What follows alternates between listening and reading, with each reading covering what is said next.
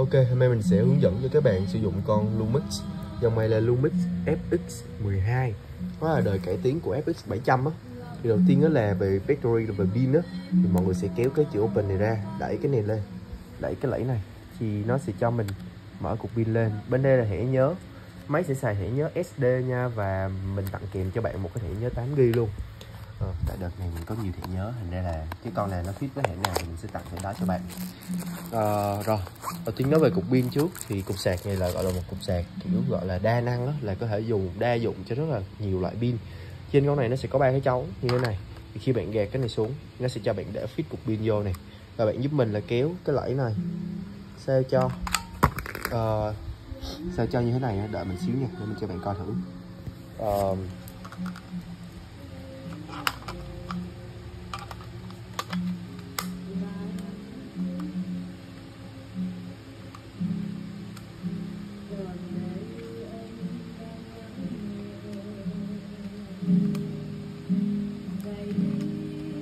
ok. Khi bạn sạc cục pin đó thì bạn đẩy sát nó vô vậy nè nó sẽ giữ cục pin lại. Thì nãy hồi mình sẽ chêm cho bạn chút để bạn đẩy cục pin nó sát vô. Khi mà nó hiển thị vậy có nghĩa là pin nó đã nhận vô cục sạc rồi, rồi mình có thể cắm vô ổ điện để nó sạc. Nếu mà nó không nhận đó, thì bạn có thể lấy một cái miếng dây thun đó, bạn cột lại một cái là được. Rồi nếu mà lấy mình thì mới được cục sạc mà nó đúng cho con này luôn thì quá tốt. Còn nếu mà không thì bạn có thể sạc bằng cách đó. Ờ, trên cái nắp pin ở trong mình nó sẽ có ba cái lẫy thì mình sẽ bỏ cái này vô như thế này. Ok đóng nó xuống. Rồi sau khi đóng nó lại rồi bạn có thể bật chữ open để bật cái máy lên.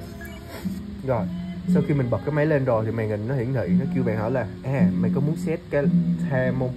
Cái clock là cái thời gian không? Nếu mà muốn có thì có thể bấm còn không thì bấm chính giữa hai cái nó sẽ bắt cho màn hình ban đầu.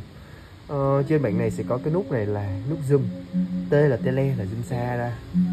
Nút view là zoom rộng vô. Đó rồi chất hình bạn này khá nét nha. Mình chỉ cần đưa lên nhấp nhẹ bấm hết là bạn chụp. Ok ờ, bạn sẽ có cho mình những cái function để mình chỉnh. Đầu tiên đó là auto là cái hình này nè. Nó chạy ngay canh ngay chấm á. chữ y á, có nghĩa là intonation ISO có nghĩa là mình có thể chỉnh được một số cái như độ nhạy ánh sáng trên cái máy của mình. Nhưng mà bình thường á, là mình sẽ không có chỉnh cái đó nhiều. Ờ, bình thường mình đã auto là đẹp nhất. Cái này là xem lại ảnh cũ. Cái này là sample mode có nghĩa là nó sẽ cho bạn những cái mode để bạn điều chỉnh.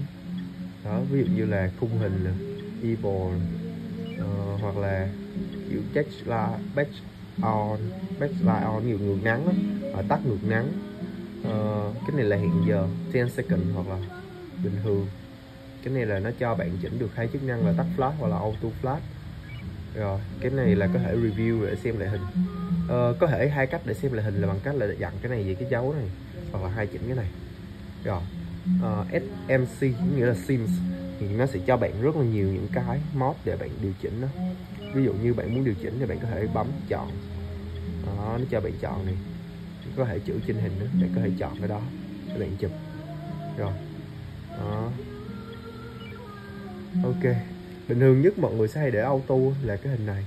À, nếu muốn chụp hoa cỏ mà sát vô luôn thì bạn để vào hình bông hoa. Cái cuối cùng này có nghĩa là quay phim. Rồi nó sẽ có cho bạn một cái nút để quay phim. Um, cái này là trích xuất dữ liệu. Thì kiểu nếu mà nó có những cái máy in của Lumix hồi xưa thì nó có thể print là in được hình ra luôn. Nhưng mà những cái máy in đó bây giờ là hết sản xuất rồi. Rồi tốt nhất thì để auto với mình. Auto thì nó cho bạn điều chỉnh là auto flash này auto flash xóa mắt đỏ bật flash hoặc tắt flash. Uhm, rồi. Bên đây là LCD mode khi mình bấm cái này thì nó sẽ cho mình kiểu kiểm tra lại hoặc là giảm bớt những cái thông số trên cái LCD đi. Cho nó rất là đỡ vướng đó, kiểu vậy. Bên đây là function khi bạn bấm vào chữ function này cái thì nó sẽ cho bạn điều chỉnh về các mode này. Ví dụ như là uh, chụp liên tục nè. Cái thứ hai là white balance thì đường đường mình để hình mặt trời để cho nó ra hình giống như cái hình mình chụp đó ISO thì mình có thể điều chỉnh để auto hay là tăng nó lên nếu bạn muốn mà nhìn nó giống phim xíu thì bạn sẽ tăng ISO cao lên để cho nó hình nó hơi hạt hạt xíu. Còn nếu bạn muốn kiểu như là hình nó tự nhiên nhất là bạn để auto. Ok đây là số tấm hình hiển thị có thể chụp được, được tiếp là 1958 tấm. Ok cơ bản thì cái máy nó sẽ có như vậy. Đó thì đó là một cái con mà kiểu kỹ thuật số. Về cách lấy hình đó, nó sẽ có rất nhiều cách lấy. Nhưng nếu bạn xài iPhone thì bạn có thể nhắn tin lại cho tụi mình thì mình sẽ có một cái đồ đọc cộng đồng giống vậy. Mình uh, có link ở trên shopee bạn có thể mua về để gắn trực tiếp vào những cái iphone để chụp để lấy hình liền được luôn nha.